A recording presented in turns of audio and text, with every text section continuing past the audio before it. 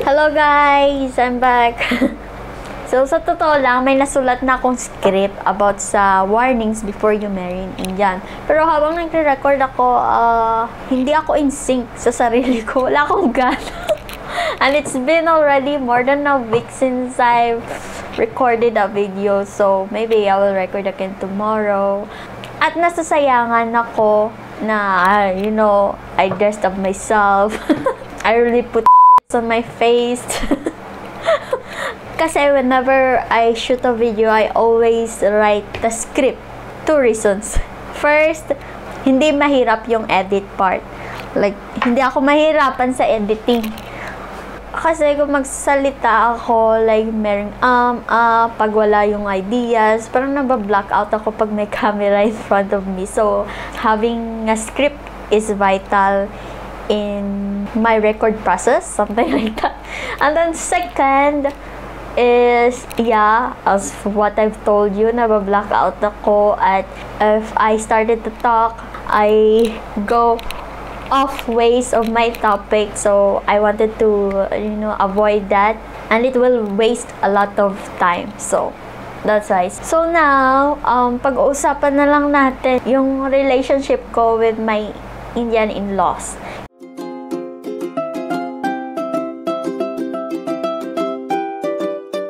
kung anong nangyayari sa akin dito or something like that. At paano nila ako tratuhin dito. So, wala akong issues sa mga in-laws ko. Like, mababait sila. I can't ask for more with my in-laws. They're ever so kind. I love them so much. They don't force me at anything, like to do this, this, and that. Unlike sa other na mga Pinay na nababasa ko, na nahihirapan sila dito sa India kasi, lalo na pag, you know, ang pagkain talaga dito yung mahirap eh. Like, especially kung hindi ka vegetarian, tapos yung pamilya ng lalaki is vegetarian, hindi ka talaga makakain. Doon ka na lang sa labas kumain. Mga ganun. So here, uh, they don't force me on anything. I can eat whatever I want. Pwede din nga na hindi ko i-follow yung days. Kasi dito sa kanila, bawal yung kumain ka ng meat during Tuesday, Thursday, and Saturday. So, bawal yon ng 3 days. Like, the common family here, they only eat um, meat during Sunday. And kasi mostly sa mga Indians, they are all vegetarians. Like, 80% of them are vegetarians. So yun, ang dami nilang dishes of vegetables and things like that. And as for me, I really don't like it. Like the masalas and things like that, they are all so spicy, I cannot eat it. And I came from a family where we eat a lot of meat. Like our dishes has always, uh, I mean, may mga sam sandok na mga manok Uh, it's, it's really hard for me to adjust my food palette here. Hindi naman nila ako force. Sin, sinasabi nila na, okay, kumain ka na ng kahit ano na. And they, they always buy eggs for me and things like that. May mga stock ako dyan. May mga stock din ako ng ng mga hot dogs, things like yung mga kinakain ko. Tapos pag bumili sila, pag bumili kami ng manok, mga it goes till, you know, 3 kg because I I store it on the freezer like that. So, okay sa kanila yung mga ganun. Pero, pwede naman ako kumain during um, Tuesday. Pero, pinili ko na hindi kumain kasi if hindi talaga pwede sa kanila, then I respect that. So, kaya yun. And okay din naman sa akin yun na may break sa non-veg. So, okay yun. Tapos, eh, maalaga talaga sila yung mom-in-law ko, yung dad-in-law ko. Always nila sinasabi na kung ano pa yung gusto ko. Tapos, mahilig ako sa saging. Like, like, ito saging. Say, for example, this one. ito, uh, palagi itong nasa table ko. Like, whenever it's finished, like my dad-in-law would always ask me, do you, do I still have the banana or things like that whenever he comes from work. He always call my mom-in-law uh, before he comes home. And then he will ask if Mary still has, you know, if I still have food and things like that. And then they will buy it. I will have in Santra, uh, banana. Santra is like orange And also, yung, yung sweet potato, mahilig din ako. Walang kumakain ng sweet potato dito, pero bumibili sila. So, parang ganun lahat ng mga gusto ko, binibili nila. So, I'm really lucky. I don't know what I did in my past life to this. That's really nice. Tapos na tayo sa pagkain. Sa pagluluto naman is nagluluto ako ng separately ng pagkain ko.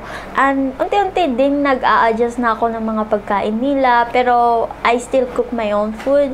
Um, yung mom-in-law ko, wala, hindi niya ako binabother sa kitchen. Like, she just let me whatever I want to cook. Unlike sa mga other, you know, nababasa ko sa mga, ma, sa mga in-laws nila, na may mga nakikialam ko ano, yung niluluto mo. Like, this is a true story of a common friend of us here in India na na nahihirapan yung babae, si babae kasi uh, whenever she cooks something in the kitchen, the mother-in-law will come, what are you cooking? Uh, use this one. Don't use that one, use this. yung pinapakialaman ka, mga ganon. So, nakakairita yun pag ganon. So, I know sa mga kasado na dyan, um, may mga mother-in-law talaga na ganyan. Kaya, I'm so lucky na hindi ganon yung mom-in-law ko na she just let me whatever what uh, I want, whatever. At sa pananamit ko naman, wala din issue. Like, super accepting sila sa kung ano yung susuotin ko pero, I also, like, decided on myself na, syempre, hindi ka ako magsusuot ng mga spaghetti, yung mga sleeveless kind of clothes because, not because of my family here, because also you know, of other people, like tao sa labas, you know, mga mata nakatingin sa'yo, parang ganun. It's like, you know, dressing up appropriately at the right place, at the right time, like that kind of. Pero, I gave up already on wearing sleeveless and things like that. I, I don't wear it anything like that here in my house, but I do wear shorts. Tapos, uh, unti-unti na rin ako yung nag-a-adjust na magsuot ng mga korta and things like that. Yung, kasi yung pananamit nila dito is, know, completely covered ka talaga, like less skin. At hindi ko kasi gusto yung mga mainit na clothing kahit na mainit dito, covered pa rin yung mga babae dito. I'm still in the process of adjusting a lot of thing here. Like, I've been here for two years already. So, unti-unti. Like, baby steps. Parang ganun. Para hindi tayo ma-shock. So, I, I love how my husband deals with me. Before I came here to India, sinabi niya na sa family niya na gan- ganito ako, ganyan ako. Kaya yun, wala talagang issue like completely. So, it's really nice.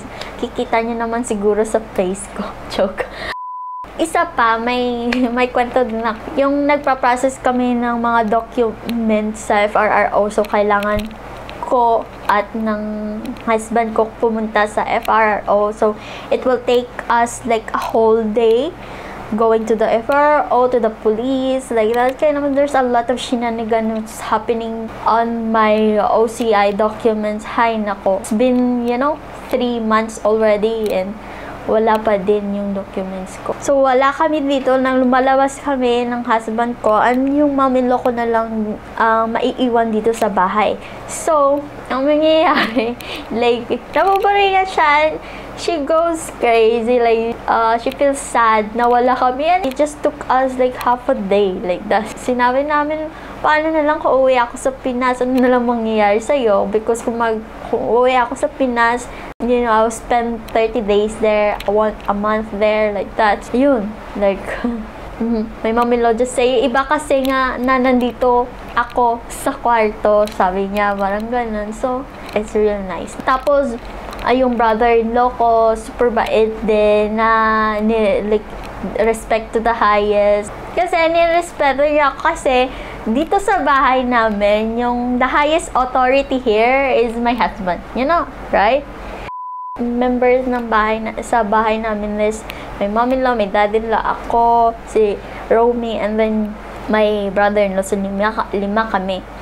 So, whenever there's a big decision happening or any decision, I guess, I think it's always my husband who makes the decisions, like that kind of thing. Not really always, like, um, we ask the opinion of other member also. Kaya yung highest authority, siya yung eldest son. Not really highest authority. Obviously, yung dad-in-law ko may nagde-decide din. Pero, minsan kasi, kailangan mo ng logic sa mga decision. Parang ganon. So, we weigh everything. So, like that. Romeo will talk to them about the decisions and things like that. And Romeo will consult to me and tell everything to me. And then I will put my nuggets on on the decision making process also. So that's how we do it here in the house. So anyway, like ang highest authority ng decision dito is si Romy. Tapos, yung brother-in-law ko minsan hindi siya, yung decision niya hindi yung mariringgan ng ng other family members. So, ako yung nagsasabi, ano ba yung decision ni, ano, ni brother-in-law, parang ganun. Then, uh, I will talk to Romy about it. So, I, it's like, I'm the one helping him like that. So he really respects me and a lot in and that's what I like it also. So yun yung brother-in-law ko. And what I like about here sa, sa ang relasyon namin ng mom-in-law ko kag ako is even though we don't understand each other, we know what we feel on each other. Like, walang issue sa mga gawaing bahay. Like, ginagawa niya sa kanyang side. Gina I mean, ginagawa niya yung kanyang role. Ginagawa ko din yung ang aking role. Kung anong ginagawa ko, ano yung task ko sa loob ng bahay. Uh, yun yun din yung ginagawa ng task ng mom-in-law ko. Like, hindi kami nagka-crush na ganun alam ko meron diyang iba na ah, puro na lang ako nag, uh, gumagawa nito, ganyan na you know, mga daughter-in-law there, maybe they might be experiences experiencing this kind of treatment na sila na lang lahat gumagawa. Pero sa amin, hindi ganon. Like, we, we do things equally like we are both satisfied with what we are doing even though most of the time like mom-in-law ko talagang yung gumagawa kasi siya yung tao na she cannot stay still without doing anything in the house. Like, ah, ano lang ba ang gagawin niya? Manunood ng TV. Tapos ano, hanggang kailan ka lang ba manunood ng TV? Tapos ako, may mga ta- may trabaho din ako. Nag-work ako. Like, ginagawa ko online. Tapos, da- ang dami kong ginagawa. so, so yun, like, my mom-in-law understands all of this, like, which is really, really kind of amazing. So, so you can really tell how kind they are, how they treat me on here. The only thing that I could make them happy also in return is by cooking good dishes. like, uh, you know, makikita mo sa mga YouTube, like, uh, super happy na sila sa mga pagkain, pag maganda yung luto mo, like, super happy na nila, at tapos, like, they feel proud na ipagyabang ka sa iba. It's good vibes lang. So, wala akong negative feelings about here. About kasi, hindi nila ako ni force sa kahit anong bagay. Alam naman natin na marami silang tradition, marami kang, yung mga babae dito, maraming pinafollow. Pero alam nila nga na intercast ako and, you know, hindi talaga ako daga dito. So, the good thing about it, they understand it. Iba kasi kapag hindi maintindihan ng pamilya ng lalaki, so, mahihirapan ka talaga pag ganun. So, so yun. I think that's all that I can think of about my in-laws. Uh, about some negative thing, uh, let me think about the negative thing. Wala akong maisip ng mga negative. Seryoso. Just the only negative thing that I can think of is like, like they are too trusting with other people, I guess. Yung ang babait nila kahit na yung magpapairam ng pera, hindi na binabalik. I think that's all. Thank you for listening.